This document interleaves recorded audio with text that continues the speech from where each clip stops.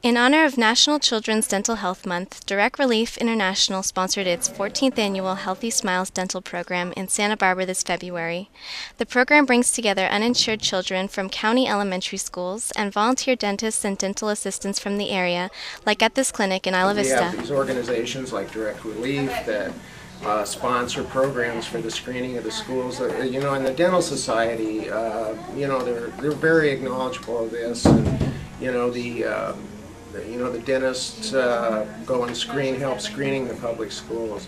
You know, we, uh, you know, we just wish we could just identify the kids and do more of it. Uh, Children receive a range of dental services from simple cleanings to fillings and extractions, all free of charge. ¿Qué, qué clase de tratamiento le hicieron a su niña hoy? Me sacaron dos dientes They extracted two teeth. y un relleno. Uh, they did a filling y un sellante and a sealant. Direct Relief supplies free oral hygiene packs, and Santa Barbara County Public Health provides bilingual education to children and parents about the importance of healthy teeth.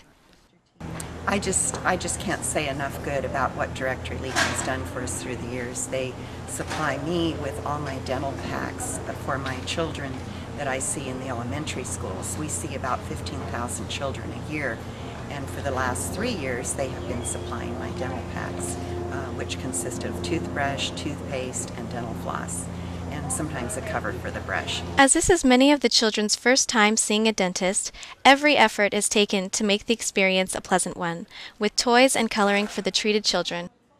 For me, it's, it's seeing these children who most all of them have never had any dental care at all in their life come here and be so courageous and enthusiastic about their first experience with it.